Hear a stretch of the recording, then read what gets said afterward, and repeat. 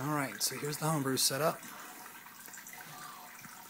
Up here at the top, we have the hot liquor tank right there full of hot water.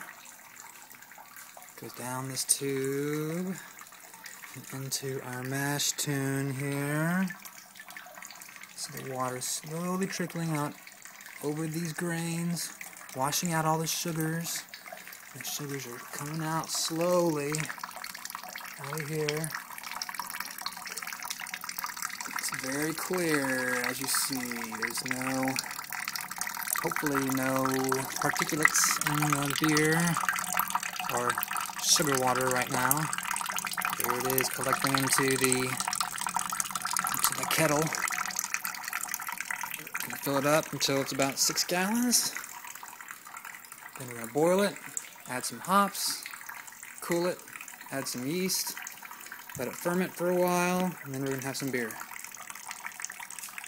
There you go.